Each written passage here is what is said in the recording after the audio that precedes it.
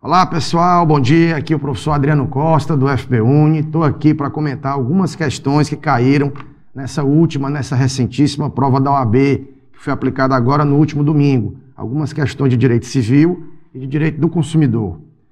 Pessoal, a metodologia aqui desse nosso vídeo vai ser bem rápida, bem objetiva. Eu farei uma breve explicação do enunciado e aí a nossa análise vai consistir em apontar em cada questão qual era o conhecimento exigido pela banca. Em outras palavras, o que é que a FGB, o que é que a FGV queria saber se você, candidato, dominava em cada uma das questões a seguir comentadas. Então vamos lá, começando pela questão de número 36, em que o Márcio vendeu um imóvel do qual era dono para o Sebastião e vendeu também para o Sebastião um piano. Eu estou aqui fazendo uma síntese do enunciado da questão 36, porque ler o enunciado todo ficaria um tanto quanto cansativo. Qual é o conhecimento cobrado na questão 36? É uma questão que navega entre o direito contratual e o direito das coisas. A questão não diz respeito a normas específicas sobre o contrato de compra e venda. A questão cobra o momento a partir do qual, quando é efetivada uma venda, o comprador se torna o efetivo dono da coisa alienada, do bem transferido, do bem vendido. Há uma dúvida muito comum que se espalha entre os alunos sobre exatamente quando é esse momento. É o momento do acertamento do contrato? Quando eu acerto a compra de um determinado bem com o vendedor, isso faz de mim comprador, de imediato, o dono? Não. No direito brasileiro, não é a celebração do contrato o momento em que a propriedade se transmite. Muita gente acha que o novo o proprietário se torna, o comprador se torna o novo proprietário quando ele faz o pagamento do preço. Errado. A coisa tampouco muda de dono com o pagamento do preço. Então a regra que se necessitava conhecer para acertar a questão é aquela que estabelece a transmissão da propriedade de coisa móvel na tradição, ou seja, na entrega da coisa pelo vendedor ao comprador para fins de adimplemento, para fins de cumprimento de uma obrigação. A tradição, portanto, é que demarca o momento em que a coisa muda de dono, em se tratando de móveis, de bens móveis. E para imóveis, perdão, a transferência do domínio, a titularidade da, da propriedade se transfere com o registro do imóvel no cartório próprio. Então, o gabarito da questão 36 é o item C, que diz exatamente isso. A, a Sebastião, comprador, adquire a propriedade do piano a partir da tradição, mas a do imóvel somente será adquirida por ocasião do registro no cartório imobiliário.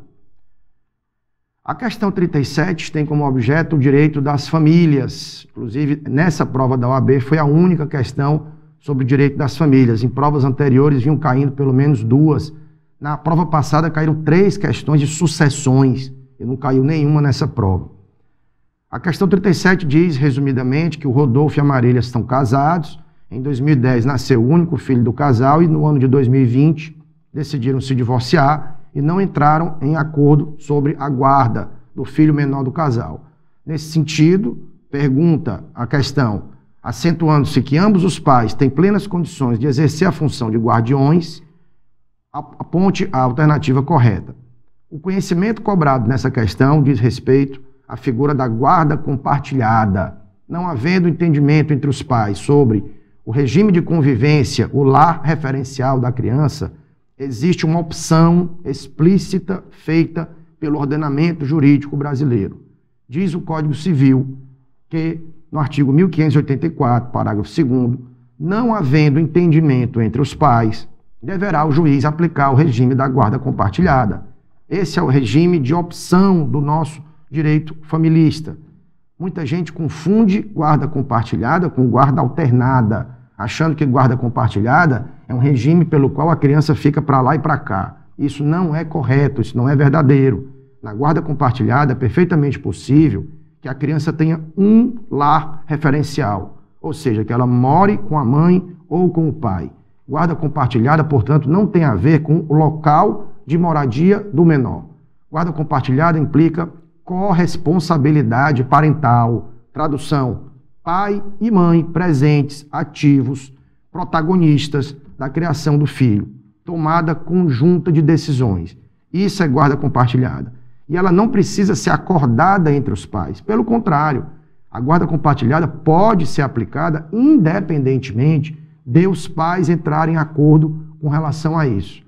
Então, o gabarito correto da, da questão 37 é o item B, que diz: como os pais desejam ambos a guarda do menor, nenhum abriu mão da guarda, e ambos sendo idôneos para o exercício dessa função, a lei determina a aplicação da guarda compartilhada, mesmo que não haja acordo entre eles. É exatamente isso que diz o Código Civil no 1880, 1584, parágrafo 2. A questão 38 eu achei a mais interessante dessa prova, uma questão sobre responsabilidade civil, e que, cujo enunciado diz o seguinte: o João dirigiu seu carro quando é surpreendido por uma criança atravessando a pista e, resumidamente, para não atropelar a criança, o João faz uma manobra brusca e, com isso, acaba atingindo um outro carro que estava estacionado.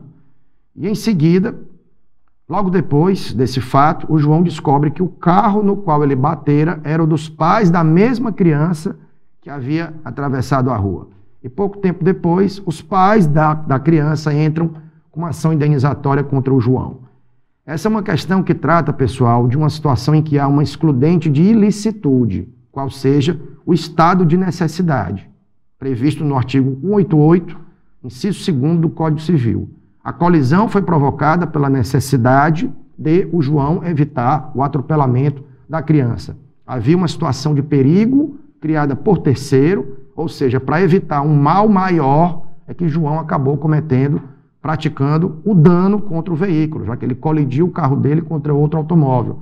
A situação danosa, então, decorreu da necessidade, daí o nome do termo, estado de necessidade, de evitar um mal maior, que seria o atropelamento da criança.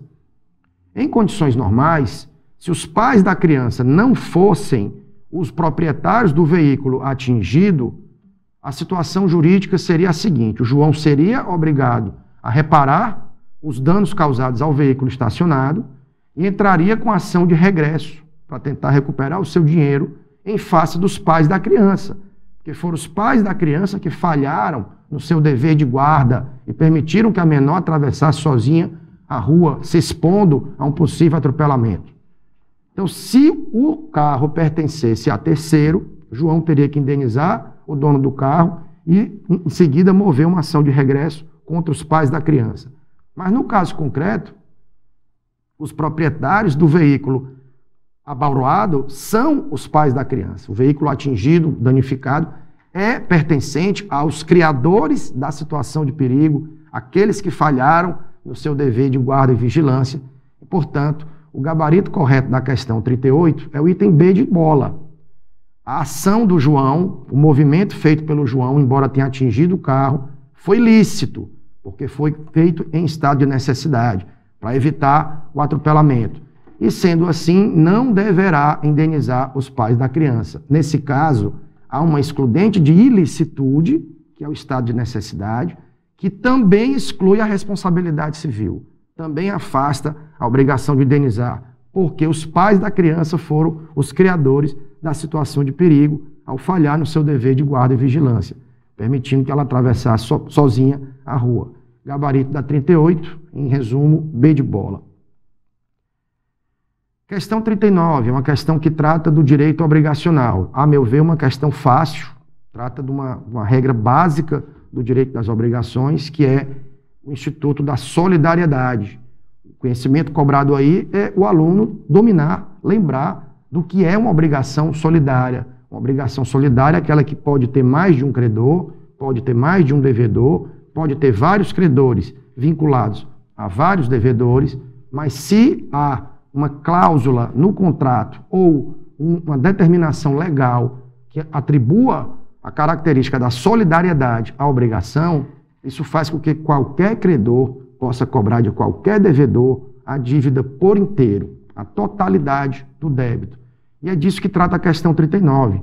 João, Cláudio e Maria fizeram um contrato de compra e venda com Carlos e Paula, e pelo contrato, os compradores se comprometeram como devedores solidários a pagar 50 mil reais. Sendo assim, qualquer um dos três credores, João, Cláudia ou Maria, pode cobrar de qualquer um dos co-devedores, Carlos e Paula, a integralidade da obrigação, a totalidade do preço, no caso, 50 mil reais. Por isso, o gabarito é B de bola, uma questão que realmente cobra o básico do direito obrigacional. B de bola diz que qualquer dos credores tem direito a exigir e receber de qualquer dos devedores, parcial ou totalmente. Claro, se o credor quiser, ele pode optar por cobrar só metade, mas eu nunca vi nenhum credor fazer isso, né? Quem pode cobrar o todo, cobra o todo. Então, qualquer credor pode cobrar de qualquer devedor, parcial ou totalmente, a dívida comum. O gabarito é B de bola.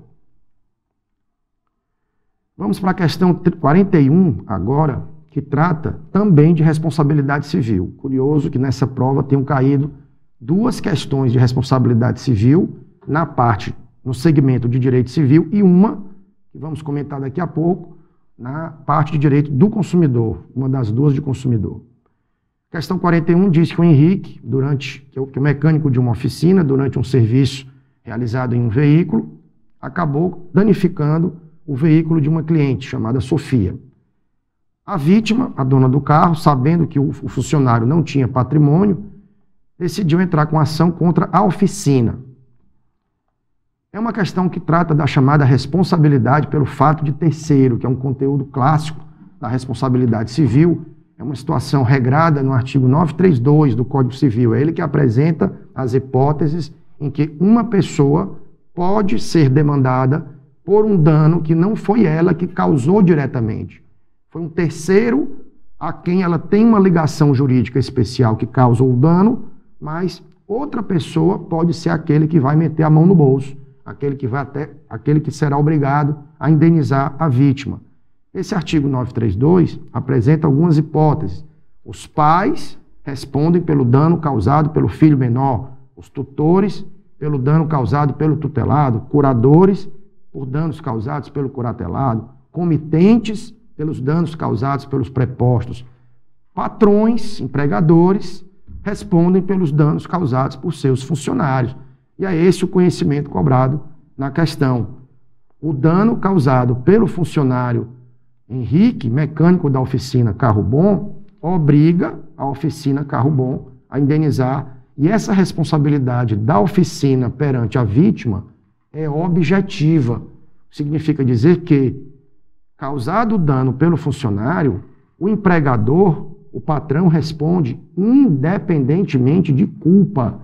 A vítima não tem que provar que o empregador falhou no seu dever de escolha do funcionário ou no seu dever de fiscalização do trabalho do funcionário. Como dito, a responsabilidade em relação à oficina, no caso, ao empregador, é objetiva não depende de culpa. Exatamente por isso, o gabarito da 41 é o item D de dado. A esse respeito, em relação à ação indenizatória proposta pela dona do carro contra a oficina, a oficina responde objetivamente, ou seja, de forma independente da culpa, sendo-lhe facultado, sendo-lhe permitido o direito de regresso. Ela pode, depois de indenizar a vítima, mover uma ação regressiva contra o funcionário que foi o causador direto do dano. Então, o gabarito da questão 41 é o item D de dado. A oficina responde objetivamente, mas pode regredir, entrar com ação de regresso contra o mecânico que atuou culposamente.